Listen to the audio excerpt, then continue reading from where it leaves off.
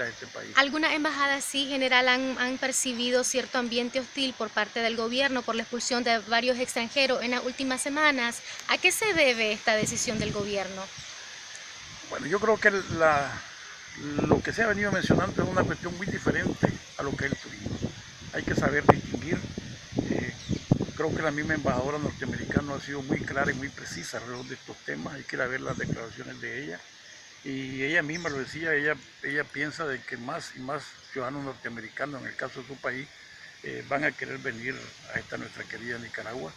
Ven, hay que saber distinguir entre algunas cosas que puedan pasar y lo que es el tratamiento y lo que es la apertura que tiene Nicaragua y la búsqueda de, de turistas que cada día... Monseñor Silvio Bá el día de ayer hacía referencia a que el gobierno debería dar mayores detalles sobre la expulsión de estos ciudadanos este, en torno a lo que usted mencionaba, de que se debe de, de definir el turista y otras personas que... Yo creo que ya está claro, los medios lo han dicho, las personas que, que, el Estado de Nicaragua se ha visto la necesidad de pedirle que abandonen el país. Ya está claro quiénes son, yo creo que no hace falta estar, eh, como